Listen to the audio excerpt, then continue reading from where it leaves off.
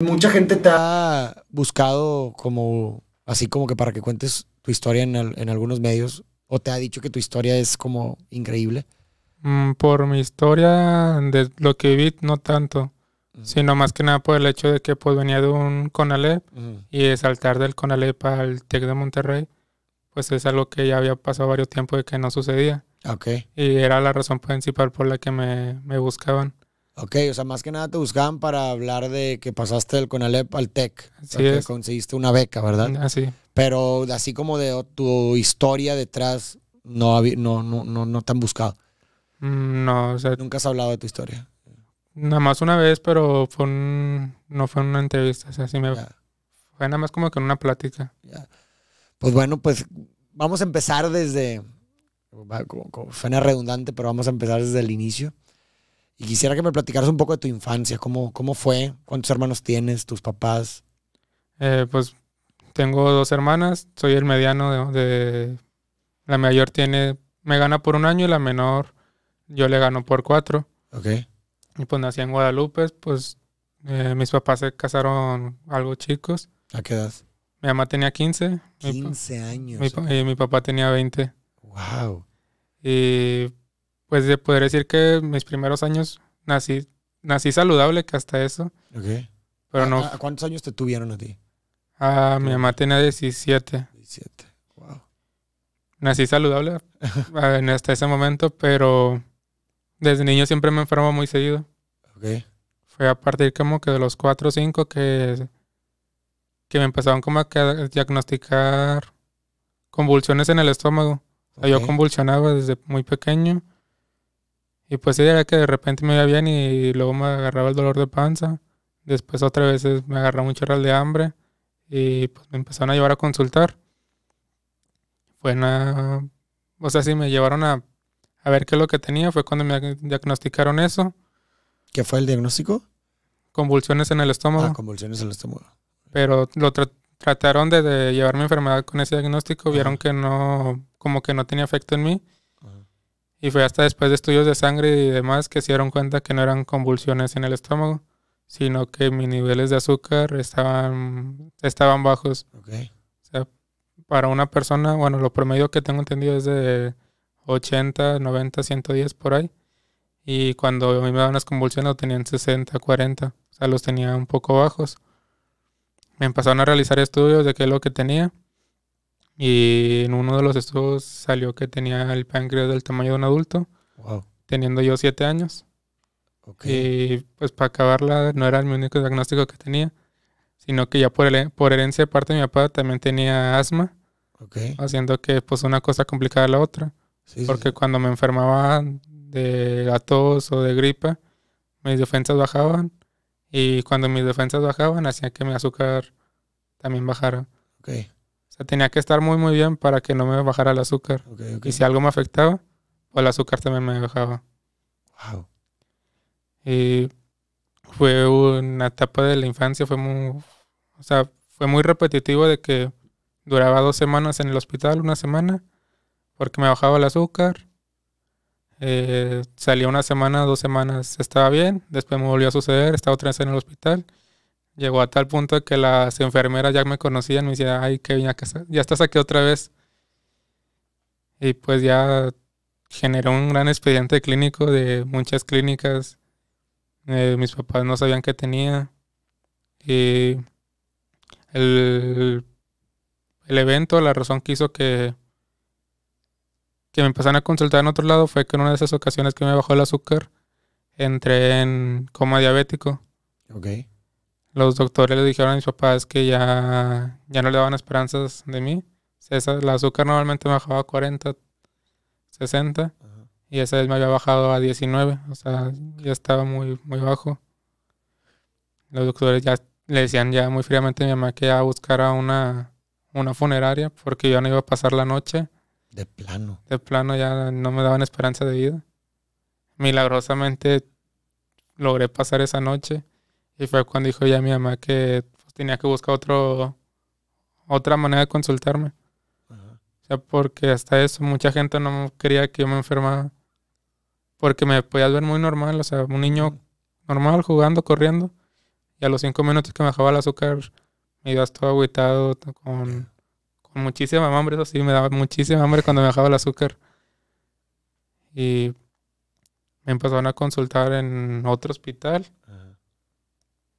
Ahí primero trataron de llevarme con dieta, de que mi azúcar se fuera regularizando, dándome como que comiesen carbohidratos, altos en azúcar. Eh, no funcionó. Lo único que había funcionado, que es lo que me daban en el anterior hospital, era un medicamento que si no mal recuerdo se llamaba Ocrotide. Ok.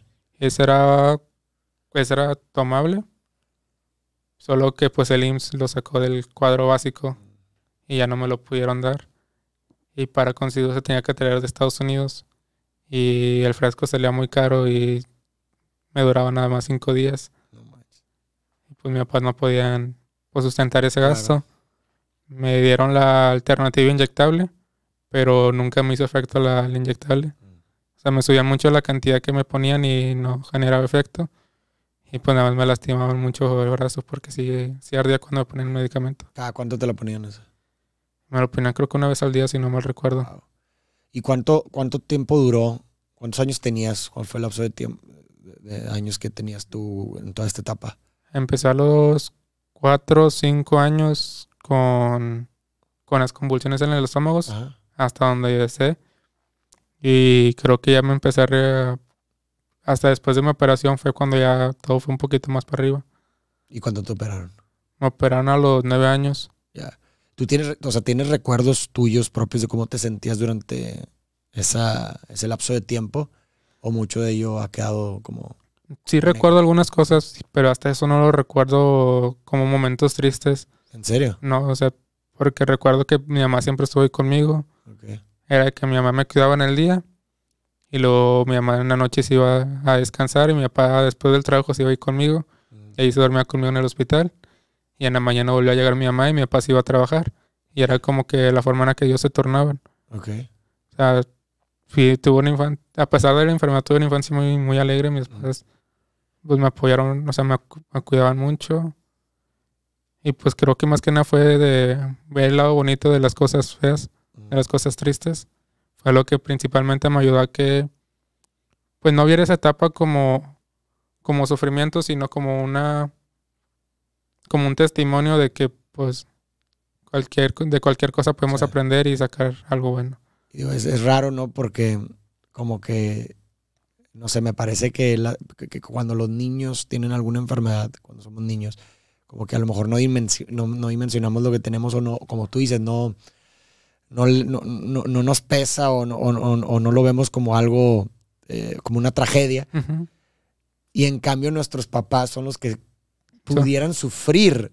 ¿verdad? Porque, andes, porque pues, nos ven a nosotros como en dolor y eso les hace sufrir, pero quienes padecen la enfermedad como niños, pues no lo ven como los papás lo están viendo, es raro, ¿no? Sí, O sea, es un poco raro porque hasta la fecha, si mi, si mi mamá cuenta la historia mía, es todavía fecha que se le sueltan unas, unas lágrimas. wow. Porque pues recuerda que fueron muchas, muchas desveladas en el hospital, de Claro. que me- había veces en las que pues duraba mucho tiempo sin ella, sin ella ver a mis hermanas porque las dejaba con mi abuela. Era de que me llegó a ver en, en- como en terapia intensiva también. Y pues sí, Pues es doloroso. sí, un poco. Y aparte fueron varios años, dices de- desde los cuatro hasta los nueve más o menos. Más o menos fue la etapa más, más crítica. Más crítica. ¿Y tus papás a qué se dedican? Mi mamá es ama de casa, ¿Ok? mi papá es chofer repartidor, tiene el título de técnico contador, pero nunca le gustó esa carrera, así que no la ejerció. Ok. ¿Y chofer repartidor para una empresa o, o Sí, por, un- el- por una empresa? Una empresa, una alimenticia. Ah, ok, súper bien. Y luego entonces dices que te operan, al final encuentran como algún un- una institución que sí pudo ver un... Me operaron.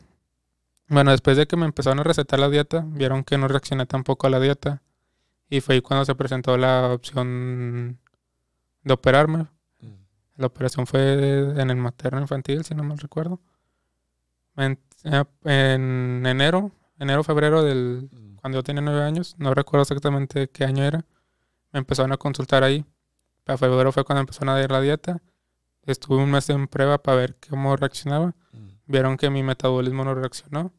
Todavía recuerdo que ese cumpleaños, cuando cumplí de 8 a 9, fue, creo que de los cumpleaños más tristes, pero también más, más emotivos, porque todo ese día me la pasé yo muy enfermo. Mi abuelo es una persona muy trabajadora, él nunca le gusta faltar a, a ningún trabajo que tenga. Es trabajador independiente, o sea, pero digo, particular, pero como quiera nunca, o sea, es muy responsable. Ujú. Y recuerdo que esa vez él no fue a trabajar, nadie de, de la casa de mi abuela fue a trabajar, porque todos estaban ahí conmigo. Ujú. Todo el día me la pasé muy enfermo. Y para abril, no, para finales de, de marzo, fue cuando los doctores del materno presentaron la opción de la cirugía. Ujú. Dijeron que era una cirugía un poco de riesgo, porque era de, porque estaba la opción de abrirme de lado a lado, para Ok. quitarme, la operación era quitarme páncreas, el 95% del páncreas. Y la otra opción era una por láser, pero de esas sería la primera que se iba a hacer en Monterrey, una pancreatomía por láser. Mis papás decidieron la opción de la cirugía porque vieron que pues no tenían muchas opciones. Ujú. Me operaron un 22 de abril. Hasta ma- recuerdos que me hizo mi mamá fue que esa vez yo me acabé de despertar, me operaban temprano. Y me dijeron que ya me iban a volver a dormir con medicamentos. Y pues yo estaba muy tranquilo diciendo, mi mamá, no, ahorita me duermo y, y me despierto y ya no va a tener páncreas nada más. O sea, mi mamá estaba muy nerviosa y yo estaba muy, pues muy, Como tomándotelo a la ligera. muy tranquilo. Muy, muy ligero, sí. Eh, me salí de la operación duró, no recuerdo si seis, ocho horas. Wow. Fue una operación larga. Después de la operación, de realizar estudios en mi páncreas, se dan cuenta que tenía un tumor en el páncreas. Ok. O sea, por de ahí el tamaño. Y dijeron que era un tipo de cáncer benigno. Y eso fue, fue mucha suerte y bendición que haya sido ese tipo de cáncer y no uno maligno. Claro. Sino por todo el tiempo que estuve en... O sea, todo el tiempo que duró se hubiera extendido por más sí. parte del cuerpo. Pero ahí no acaba la, la historia. Porque después de la operación hubo complicaciones de la cirugía dos semanas después. En el páncreas se me hizo una fístula que hizo que me fueran aplastando lo- el estómago de tal punto que no puedo tomar un trago de agua porque me daba un dolor inmenso. Empezaba a aventar vómito café y mis papás me volvieron a llevar. Me dijeron que ocupaba un drene, pues tenían que esperar a que el, que el hospital autorizara. Duré como dos, tres semanas en el hospital, en, no sé si fue más. En ese tiempo no pude comer nada, me tenían por medicamento en la vena Wow. y en el hospital ese, en el materno, solamente me podía visitar, se- solamente se podía quedar con mi mamá por políticas. Así que a mi papá solamente lo veía dos horas al día. Y todo el tiempo y se la pasaba conmigo pues, cuidándome. Ya conocer a muchas personas ahí, muchos lamentablemente fallecieron, muchos niños que conocí ahí. Y a- al ver que el hospital no autorizaba la, la fístula, el drene, lo que yo ocupaba, mis papás se pusieron a rejuntar el dinero que costaba. Ujú. Hicieron loterías, venta de tamales, hicieron boteo. Mis tíos, primos, mis abuelos, todos ayudando para, para juntar el dinero de la cirugía. Y pues gracias a Dios se, se logró juntar todo el dinero que se ocupó. Y me realizaron la, la- el drene. De pesar 40, 42 kilos, pasé a... Llegué a pesar 26. Wow. O sea, por lo mismo de, de la fístula que no Sí, podía sí. comer nada, perdí bastante peso. De hecho, antes de la cirugía, yo estaba un poquito gordito. Ajá. Y después de eso, pues sí, sí enflaqué bastante. Ahí tenías nueve años. Nueve años. Nueve años. Y, y, y de eso también ya, o sea, ya tiene, tenías ya un poco de más conciencia o, o también permanece como un recuerdo así muy lejano para ti. Pues sí recuerdo mucho de eso. O sea, recuerdas, por ejemplo, eh, ahorita que dices que, pues, ¿cuánto tiempo estuviste ahí esperando?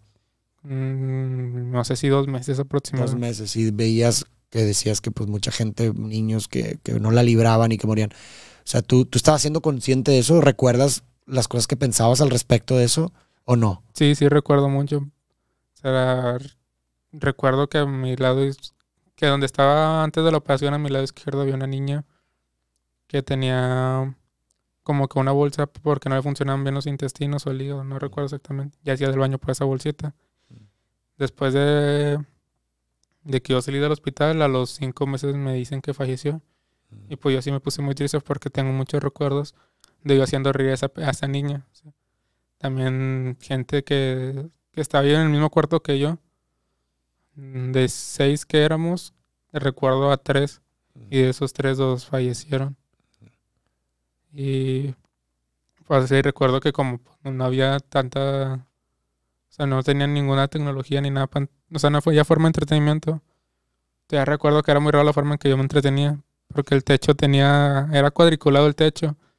Y yo en mi mente me ponía a ver el techo y a dibujar figuras en el techo. Y en esta figura, con esta... sí estaba, sí era consciente en ese momento. Ya, Y, y- y el estar, el tener esos, estos encuentros tan cercanos con la muerte a, a una edad pues bastante temprana, eh, ¿te hizo pensar en, en eso, en la muerte o, cómo- o, o realmente no, no, no importó el estar cerca de gente que moría? En ese momento, pues como estaba, estaba pequeño, no, no comprendía muy bien lo todo lo que había pasado. Sino fue hasta de grande que viví un retiro espiritual, que me di cuenta que, o sea, que estuve a punto de morir, que pude haber muerto, y que si estaba vivo era por una razón, o sea, que si estaba vivo era porque aún tenía una misión, o sea, ahí comprendí que tenía que aprovechar el tiempo que, que toda tenía. Sabía que no, la vida no era, no era eterna, sabía que cualquier momento se podía acabar de un día para otro. Y fue ahí cuando también me entró esa como que ganas de bajar mi huella en el mundo. Ya. O sea, yo tenía muy claro eso, que tenía una misión, porque por algo sigo vivo, por una razón estoy aquí. Así que tenía que buscar cuál era mi misión en la vida, cuál era esa razón para que yo seguía aquí. O sea, el por qué no morí en ese momento. Claro. Sí, sí, sí. Y ahorita como me da curiosidad, o sea, ahorita que puedes mirar en retrospectiva, ya con otra conciencia, a todo eso que viviste, ¿cómo te hace sentir eso? O sea, como dices, en el momento, pues a lo mejor no estás muy consciente de lo que está pasando, pero ahorita ya lo estás. Ujú. Y me estás contando tu historia, ¿no? Tan, tan dura. ¿Cómo, ¿Cómo te hace sentir el, el- el pensar, pasé por todo eso? Pues como se me hace pensar como que ala, o sea, todo lo que pasé, yo nací mi yo de niño nunca generó un recuerdo negativo. O sea, siempre también de grande de verle lo positivo a eso que viví, de ver todo como un testimonio, decir que, o sea, la vida es muy, muy bonita. O sea, no sabemos cuándo nos vamos a ir, no sabemos cuándo vamos a morir. Hay que aprovechar el tiempo máximo que tengamos. Y eso me hizo como que, me hizo llegar como que esperanza de poder ayudar a más personas que estuvieran pasando por momentos difíciles, que se sintieran como que mal, ayudarles a encontrar como que cuál era esa, esa razón por la que sigan aquí. O Ya. sea, porque nadie está en un lugar solamente por estar ahí, Mm. sino todos tenemos una misión y pues el chiste es si la queremos aceptar o no. Ya.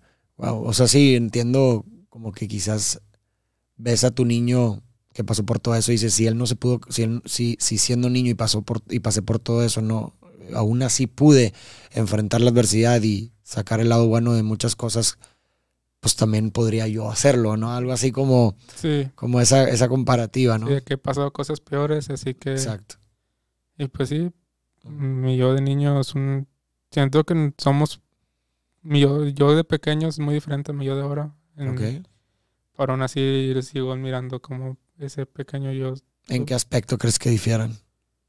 Pues de que más que nada que él tenía menos miedo de enfrentar situaciones difíciles. Sea, de la manera también de la, con la fe con la que él vivía más de pequeños. Más yo de pequeño, pues sí era mucho. Y ahorita te sientes, sientes que tienes más miedo para afrontar la adversidad. En algunas veces En sí algunas siento como que miedo. O sea, me siento un poco más introvertido en ese aspecto de, Ya. de hablar o de contar esa historia. O de ver, Ok. o de enfrentar con más valentía los problemas. Y digo, ahorita pues estás de cierta forma haciendo algo por primera vez, que es Sí. un podcast, que es un acto de valentía, que, que, que podrías decir que, pues digo, te animaste finalmente, enfrentaste con todo y miedo, me imagino. y ¿Qué, qué fue lo, lo que te hizo decir, oye, sabes que pues ya me la viento con todo y miedo? En el día lunes tuve mi bienvenida de la beca y recuerdo que unas frases de las que dijeron es que en pandemia pasamos mucho tiempo detrás de una con la cámara apagada, dormidos en clase. y que había llegado el momento de encender nuestras cámaras para que el mundo nos viera. Mi papá me ese día en la noche, ayer en la noche, no antier en la noche me recordó eso de que he pasado mucho tiempo con la cámara apagada y era el momento de que el mundo me, me viera, que viera la historia. De- Wow, qué padre. Se me puso la piel de gallina.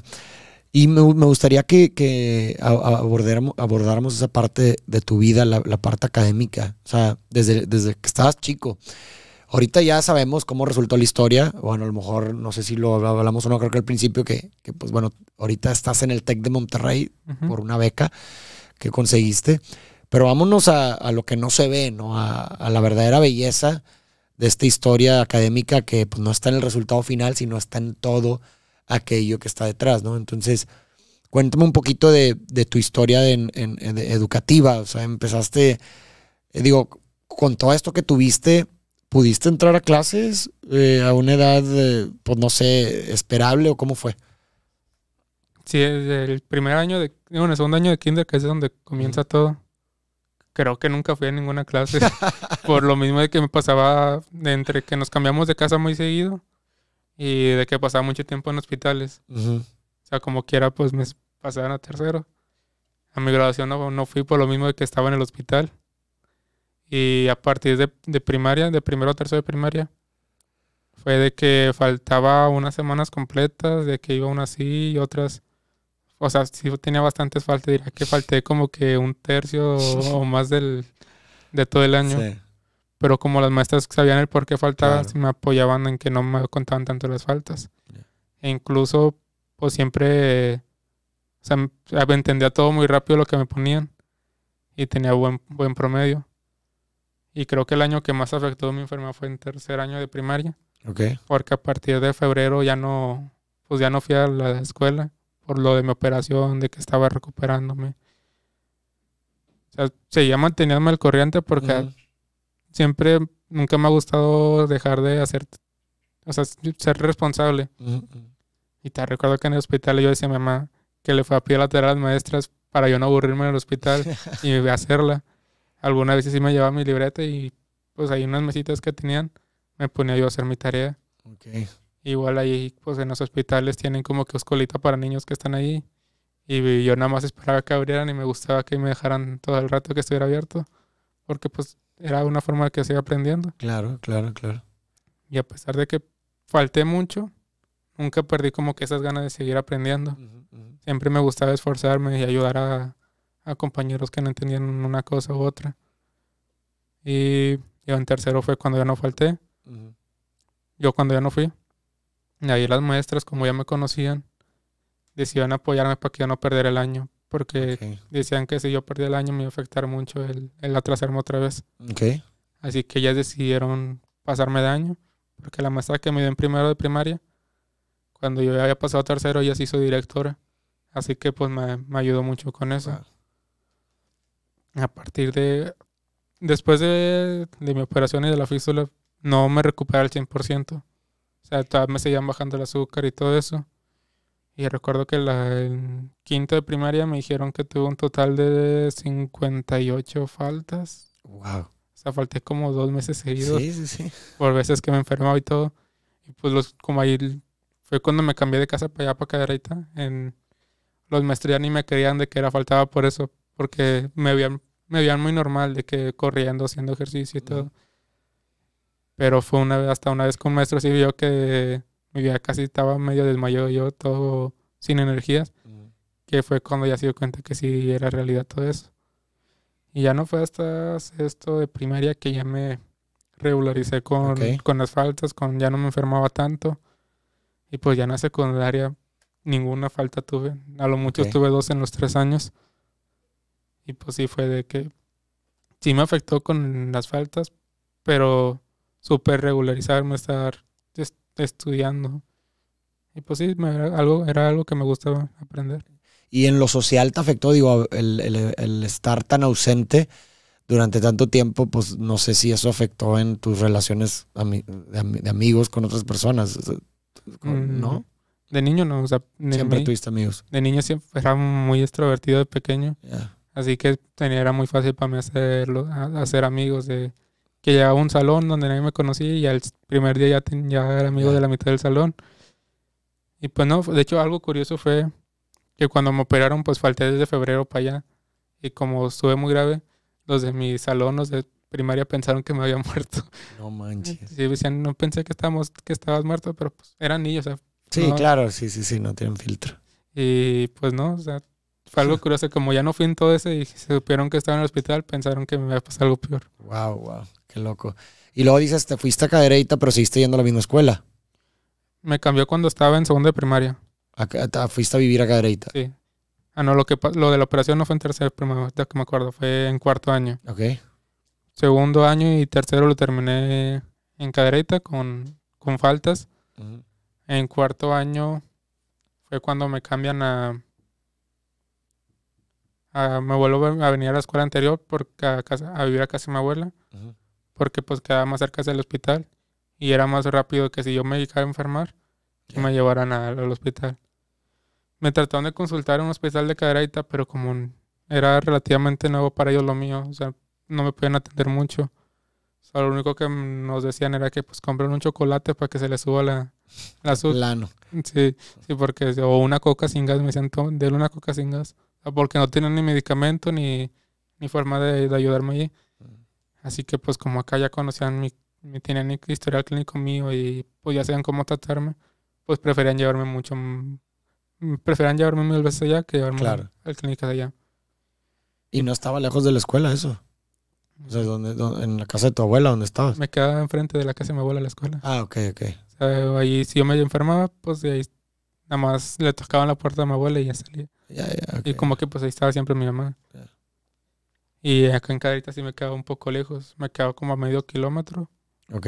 Y pues de aquí a que me avisaran, pues mi mamá se tardaba un poco en, en ir. Pero, pues no, fue, fue un poco movido todo ese tiempo, pero aprovechando las veces que iba a la escuela Y luego ya eh, entraste a preparatoria, secundaria. a secundaria. Sí, en secundaria me, me, me mandaron a una secundaria en otra colonia, en otro municipio. Ok. Yo vivía en Cadereyta Ajá. Y me mandó a una secundaria de Juárez que queda como a 4 kilómetros Ok. Son como 15 minutos en camión. Y pues empecé a ir otra vez desde cero, sin amigos. Nada más conocí a mi primo. Y pues otra vez a empezar.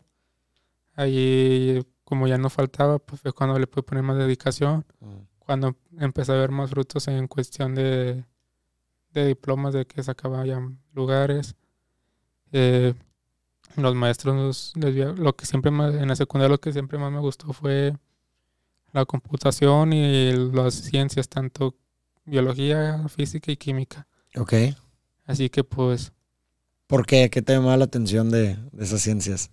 pues el hecho Como de las estar, ciencias naturales, ¿no? sí, el hecho de estar experimentando, de darme, de darme cuenta por mí, por mí mismo cómo funcionaban las cosas. Ok. Nunca me ha gustado tanto el escribir, el, la- como el español, por así decirlo. Ujú. Pero todo lo que era con matemáticas, ciencias y computación siempre me ha apasionado. Es lo que más, más me llama la atención. Ok. Entonces tú em- empezaste a encontrar ese gusto ahí en la, en la ¿qué fue? ¿Preparatoria? Secunda- Sec- secundaria, sec- perdón. secundaria. Fue Ah, hasta tercer año diría yo que fue cuando encontré mi gusto más por la tecnología. Ok.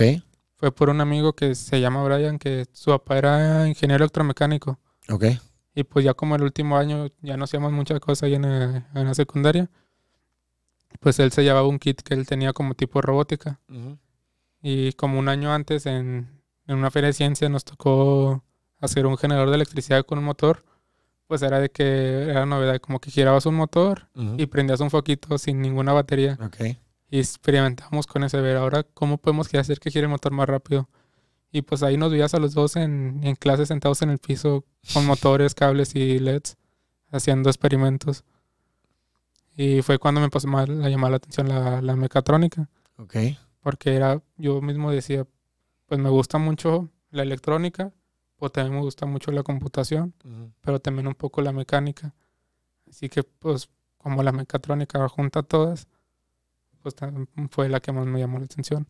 Y más porque con el trabajo, como trabajaba con mi abuelo también, pues ahí aprendí un poco más también de electricidad Ok. y me llamó más la atención todavía. Ok. Entonces ya ahí básicamente encontraste como esta pasión, pues. Sí, Y es lo que ahorita estás estudiando. Sí, estudié mecatrónica en la prepa y la estudio ahorita, a Ahorita. nivel de ingeniería. En ingeniería.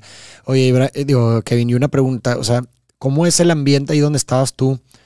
O sea, ¿cuáles eran las aspiraciones de tus compañeros, por ejemplo? O sea, si era algo común el, el- el tener la, la aspiración de hacer una carrera universitaria o mucha gente era como, pues realmente no le encontraba un gusto al estudio. ¿Cómo veías el ambiente en el que estabas? ¿En secundaria o en preparatoria? O sea, en las dos.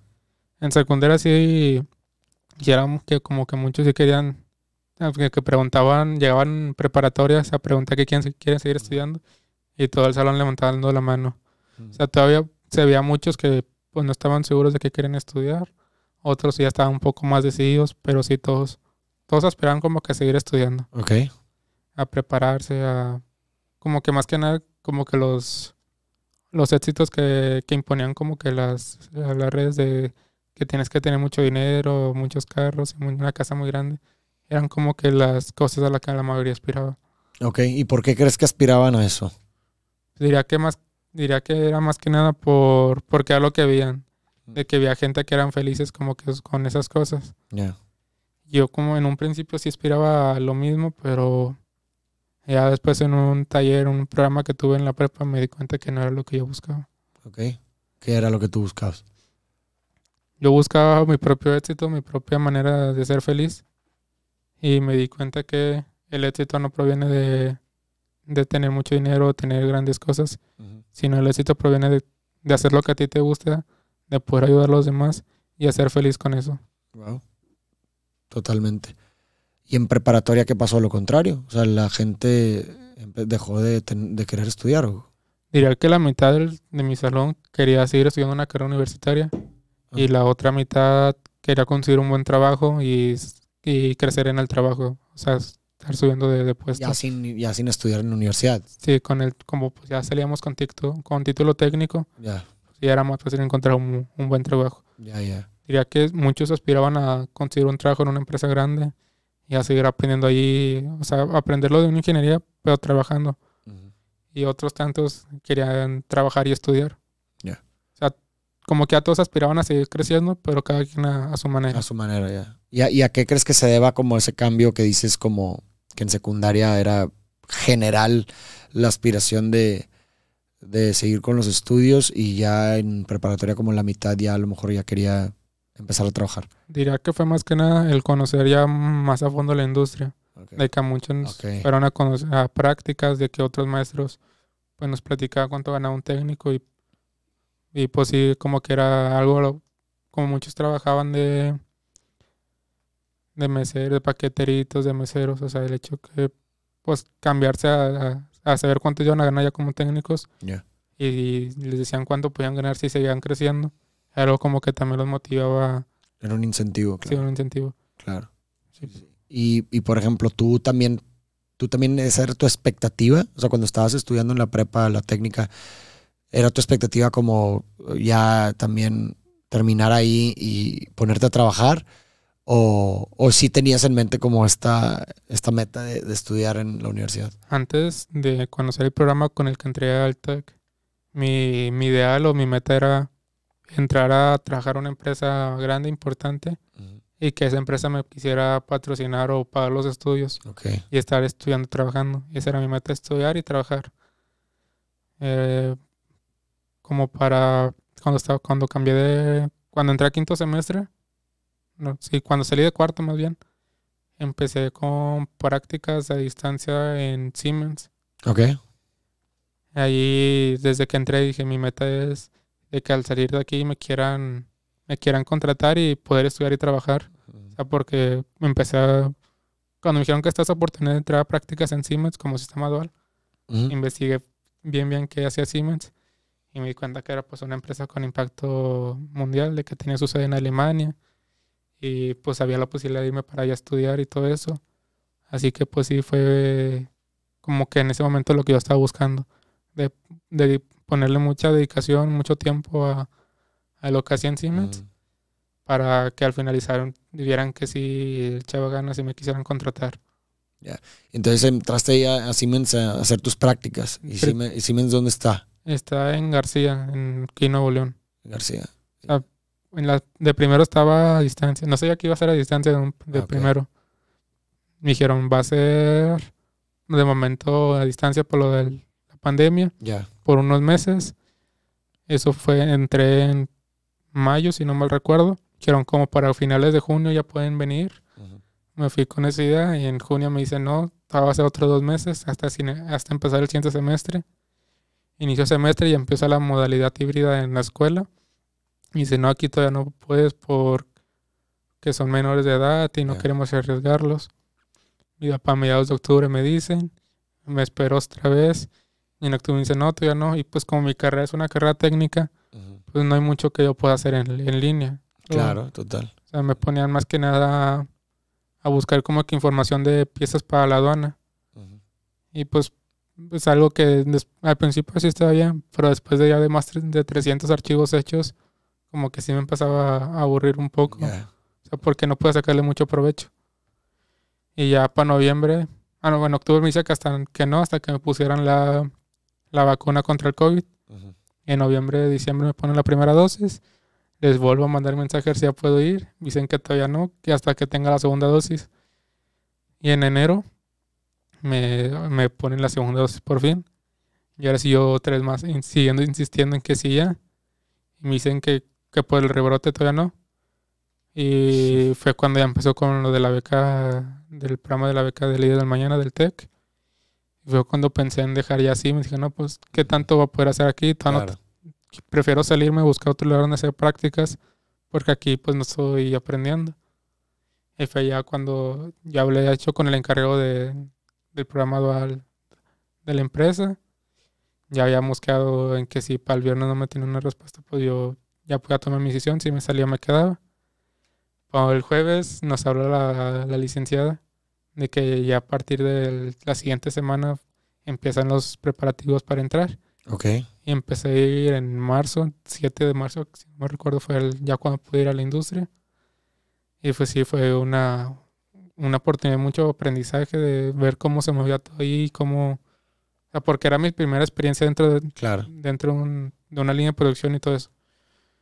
Nos dejaron en el área de... pues, me dejaron en el área de mantenimiento y fue a aprender como que cómo, cómo encontrar una falla y los técnicos dándote consejos de cómo hacerle.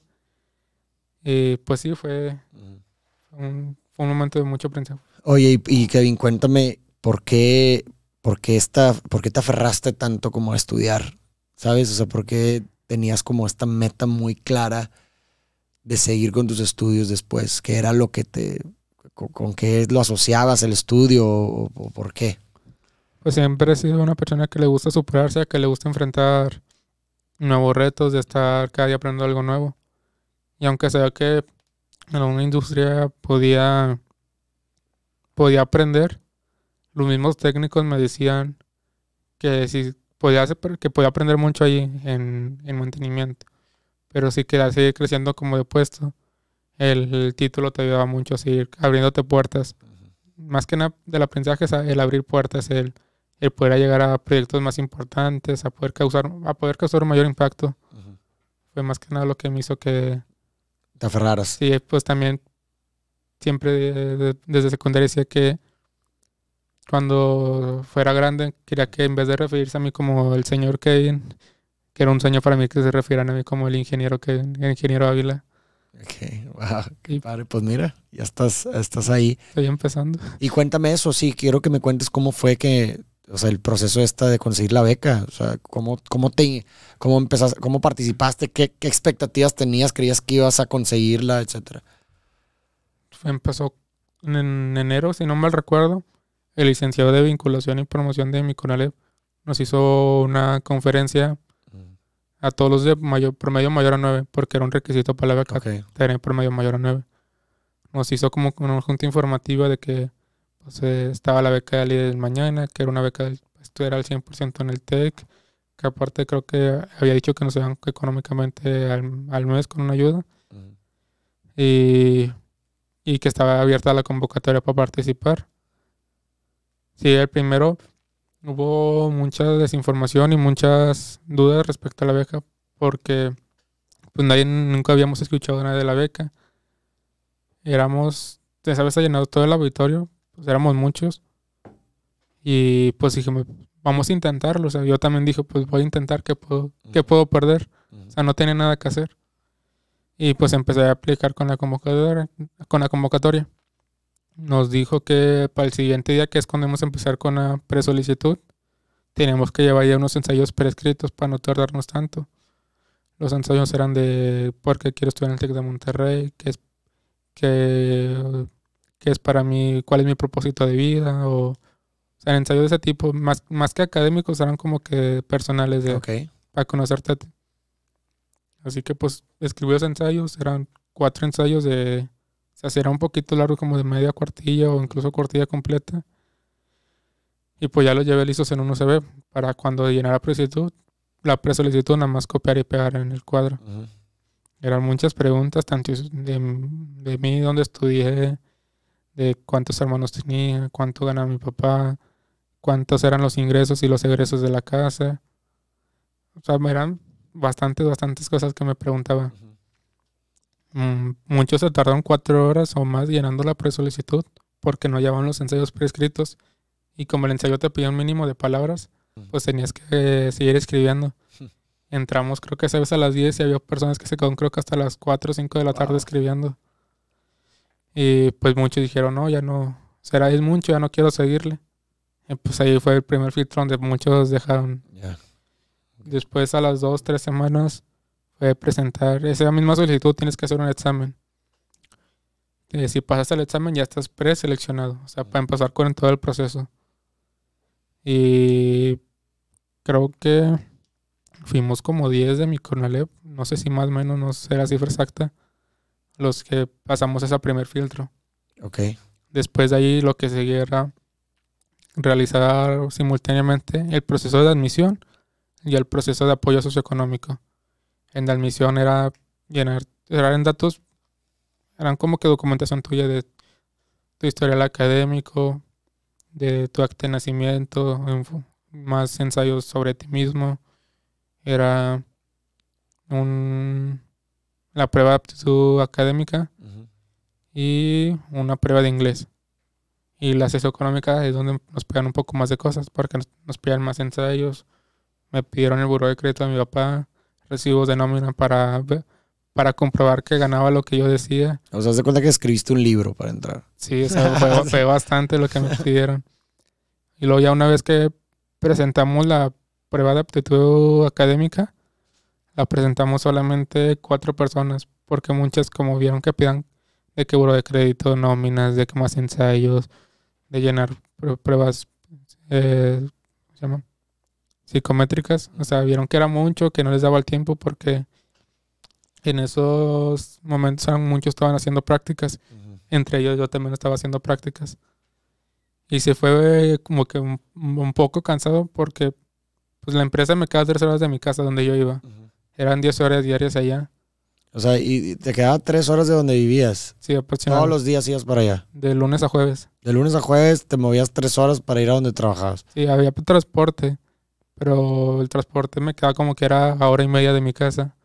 O sea, ibas a hacer, si te ibas en transporte cuatro... Era- Ah, ok, en transporte... Dio cuenta que donde pasaba el transporte, la ruta más cercana del, a mi casa, me quedaba una hora y media. Así que me despertaba a las tres y media de la mañana. A las 4.10, 4.20 ya tenía que estar esperando el camión. Y a las antes de las 5.50 ya tenía que estar donde pasaba el transporte de la empresa. Y llegaba como 10 minutos antes porque no quería que se me pasara. Sí, no, pues. Y ya para llegar a la empresa ya a las 7 de la mañana. O sea, de todo tu proceso de... en desde levantarte y prepararte hasta llegar a donde tienes que llegar duraba como cuatro horas. Pues era salir a las... Desde levantarme, levanta- ajá, desde te levantarme, sí. ajá, cuatro horas, de lunes a jueves. Sí, sí. Wow. Y pues era al mismo tiempo que estaba haciendo la solicitud de la beca de líderes. Así que sí fue de administrar mucho mi tiempo. Aprovechaba el tiempo que me iba en el camión para dormirme. Yo mismo, a las horas de mi sueño, le restaba las horas del camión. Ya. Y para las horas que iba a dormir en el camión, pues agregarlas a las horas que me duermo en mi casa. Y digo, ahí me imagino que evidentemente, o bueno, no sé, fue pesado para ti todo eso. ¿Cuánto tiempo duraste yéndote de lunes a jueves? Fueron tres meses. Tres meses. Sí. ¿Y cómo los sentiste pesados? Me pude acostumbrar rápido porque pues allá en empresa como me muevo mucho. Ujú. Bueno, al principio no tanto, pues ya después que me fui un poco acostumbrando era de estar caminando, pues no me daba sueño. Y como me dormía mucho tiempo en el camión, era algo que también me ayudaba bastante. Ya.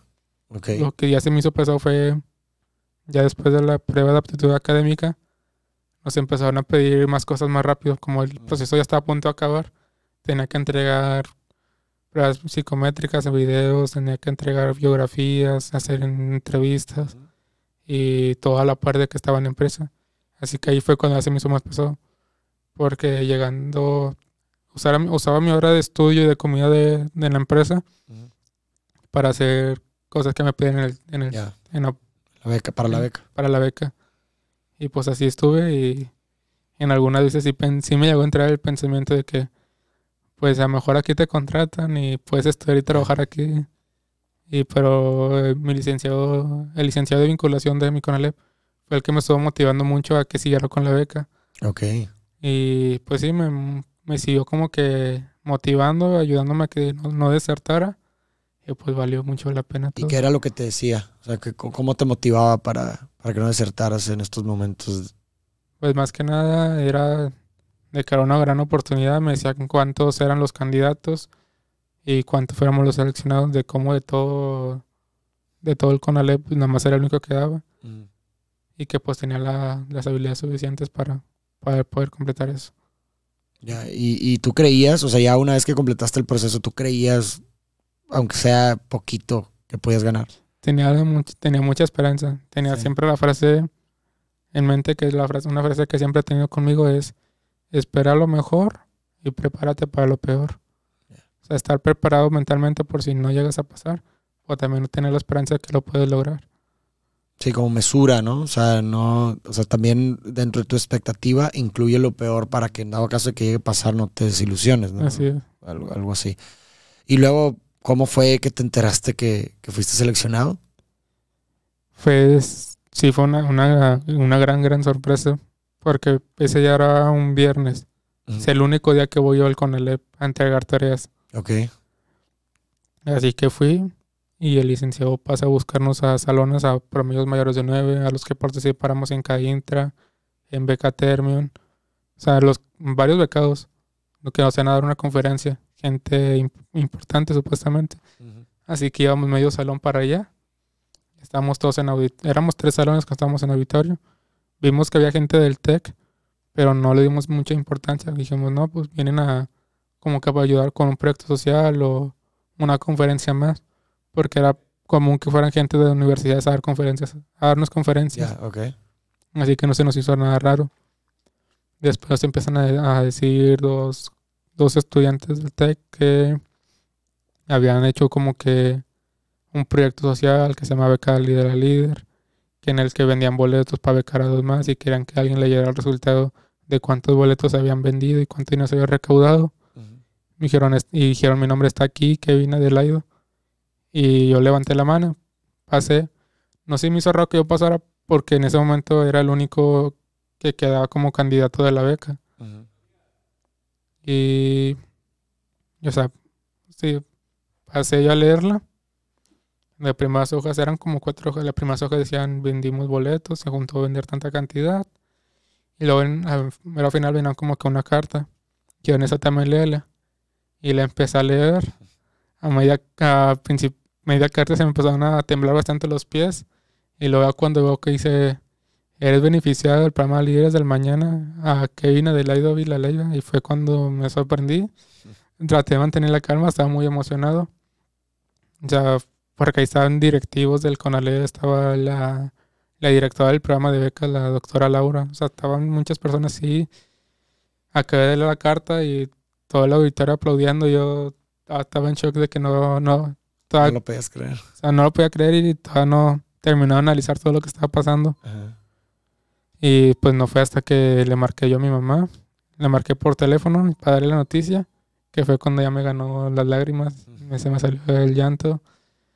Y se sintió muy bonito porque mi mamá, aunque a pesar de que, a pesar de que le haya dado la noticia por teléfono, eh, también lloró. Después a los cinco minutos me marca mi papá. Mi mamá le dijo a mi papá. Le di a mi papá la noticia. Y mi papá también estaba trabajando, se iba manejando y se estacionó para marcarme. Y también le, mi papá es una persona muy seria de que, o sea, no lo, no lo haces llorar fácilmente. Y es como que a él le ganó mucho el sentimiento. Y más que nada mi mamá por el hecho de pues, todo lo que ha habido conmigo en el hospital. Claro, claro, total. Es lo que hizo que hasta donde, hasta donde pudo llegar. Wow, no, me imagino que haber sido un momento de mucho orgullo para tus papás, como, como que, como si de cierta forma todo lo que pasaron Me ha valido haya, haya valido la pena, ¿no? Que tuvo sentido, ¿no? Fue como a lo mejor eso simbólicamente. Y, y pues bueno, ahorita ya estás entrando, ¿no? Ahorita apenas vas a Sí, es empezar tu primer semestre. ¿Ya empezaste todavía? Sí, no? es mi primera semana. Eh, ya empe- ¿y, co- ¿Y cómo te has sentido? Pues sí, es muy, muy grande el contraste entre pues, el TEC y la- el CONALEP. Más que nada, pues por la cantidad de alumnos, de los salones que son completamente diferentes, las las la infraestructura de un, de un lugar y otro. Y pues también el ambiente social es mu- muy diferente como estaba. Claro. ¿Y hasta ahorita cómo ya te has sentido que te falta todavía adaptarte o ya estás adaptado Me voy adaptando poco a poco, poco a poco? pero sí lo estoy logrando. Sí lo estás logrando. Sí. Y estás emocionado, Ah, por supuesto, Sí. bastante. me imagino, ¿no? La verdad es que, pues, qué increíble. O sea, es, es como una película casi, casi, ¿no? Una, una vida, una película. Creo que, digo, eh, eh, creo que necesitamos más gente como tú, Kevin, con esa convicción, con esa con ese afán de, querer utilizar sus, virtudes y sus habilidades en, pro de, los demás. Eh, la verdad es que hubiera, o sea, es increíble. Yo, yo digo, para mí un milagro no es una cuestión divina, porque muchas veces atribuimos la palabra milagro como a estas, a estos sucesos que son extraordinarios, pero atribuidos necesariamente a algo divino. Pero yo creo que el milagro realmente es cualquier hecho extraordinario. Y tú puede, uno como persona puede ser un milagro. Yo creo que eres un milagro porque creo que todo lo que has contado en toda, en toda, en toda tu vida siempre ha sido más fácil desertar, siento yo. O sea, sí lo veo. Siempre fue más fácil eh, como rendirte, siempre fue más fácil desertar. Y sin embargo, hiciste lo, lo, lo que era menos probable, ¿verdad? Y eso es un milagro, creo yo. Eso es un milagro. Y pues gracias por tu historia. Esperemos que, pues bueno, obviamente te deseamos, bueno, yo te deseo el mayor de los éxitos, la mayor felicidad posible. Y que sigas pues inspirando a muchísima gente, que ya no apagues, que ya no vuelvas a apagar la pantalla, como decías, que, que, que, que, que esto sirva como una forma de prender la pantalla y que ya nunca más se vuelva a apagar para que más gente se pueda inspirar de ti. Sí, o sea, conociendo ahí en el mismo programa de la beca donde estoy. Escuchamos, bueno, escucho la historia de, de los demás, de más compañeros míos de la beca, y pues nos damos cuenta, me doy cuenta de que muchos han pasado también por muchas cosas, de que hubo un momento en sus vidas que los haya marcado y que los haya hecho reflexionar de cómo eran. Hay bastantes, bastantes historias de que te ayudan a saber que hay más gente que te va a apoyar en cualquier momento. Totalmente, sí. Y, y, y- sí, o sea, y nos gustaría que, que tu caso, por ejemplo, no fuera la excepción, sino fuera la norma, ¿no? O sea, que, que pudiera haber mayores oportunidades para personas con condiciones eh, vulnerables, con condiciones adversas, y que no haya historias de excepción, sino que más bien las excepciones fueran las personas que desertan. ¿Me explico? Y la norma fuera que las, las condiciones estu- estuvieran óptimas para que cualquier persona pudiera, eh, pues, pues, pues sí, lograr este tipo de cosas, ¿no? O sea, lo tuyo sí es completamente extraordinario. Qué, qué- qué- alegría pudiera ser o qué, qué- bonito pudiera ser que, que esto fuera la norma y no la excepción, que fuera tan- que no tuviera que ser tan difícil, me explico, el tener este tipo de oportunidades. la oportunidad está para pues para todos o sea lo, sí, lo difícil es eso del pues el miedo de que el tener miedo al fracaso de que no podamos lograrlo. Pero pues también como me han- muchas veces me han dicho esta frase tanto en el programa tanto como mi licenciado y como mi papá de que pues el no ya lo tenemos como como respuesta Total. el rechazo ya lo tenemos. Así que pues hay que buscar la aceptación el sí y pues esa oportunidad que ahí nos está esperando. Claro. Y ahora hablando así un poco de sabiduría, que, o sea, con base en toda esta historia que has tenido y, y cómo piensas el día de hoy, ¿qué pudieras eh, recapitular como las cosas, así como tu filosofía de vida en tres puntos o dos o cuatro, los que quieras, así como desglosar de, de, de que por medio de estos motos te guías? Pues creo que hubo varias cosas que he aprendido. Soy en un grupo de jóvenes de la iglesia y que creo que con ellos aprendí bastantes cosas. Cambió también mucho mi manera de pensar. Y creo que una de las cosas que también siempre es parte de mi filosofía de vida es una frase que se dice o todo o nada. O sea, o el darlo todo en un proyecto o en una circunstancia, una situación, o de plano no entrar. O sea, que no, no hacer cosas a medias. Es con esa base todo lo que yo hago, lo hago dando todo de mí, dando todo mi esfuerzo. No me gusta hacer cosas a medias, no me gusta hacerlo nada más porque sí. Así que eso es lo primero, darlo todo en un proyecto o no dar nada. Eh, lo segundo sería, eso es una, frase que encontré rayada en una pared, en una casa, una, en una barra por donde vive mi abuela, que dice, si fue bueno, fue fantástico, y si fue malo, fue una experiencia. O sea, creo que la, esa frase la vi desde niño. Y el hecho de que digas si fue malo, fue una experiencia. Todo lo que me pasó, todo lo, todas las obstáculos, adversidades que viví, no lo veo como algo malo, sino lo veo como una experiencia de vida, como un aprendizaje, como una manera de, enseñar a los demás que no, que no importa lo que has pasado. Y pues el hecho de, siempre ser alegre, de, ayudar a todo aquel que necesite, de la frase que más me gusta es si no vives para servir, mm. no sirves para vivir. Mm. Es entregarme al servicio de los demás, siempre que pueda apoyar a hacerlo, porque pues tengo una, una, duda conmigo mismo y con los demás de poder ayudar a todo aquel que me ayudó. Incluso, o sea, sí, muchas personas me han ayudado y quisiera regresarle un poco a los demás. Total todo lo que me han hecho por mí. Tanto desde las personas que ayudaron a mi mamá para comprarle tamales y boletos de la lotería, tantas personas que me han apoyado en mis estudios, personas que me han apoyado con una más mínima cosa. De, o sea, estoy muy agradecido con todas esas personas y quisiera pues poder ayudar a todos los demás en lo que yo pueda, en todo lo que mis posibilidades estén.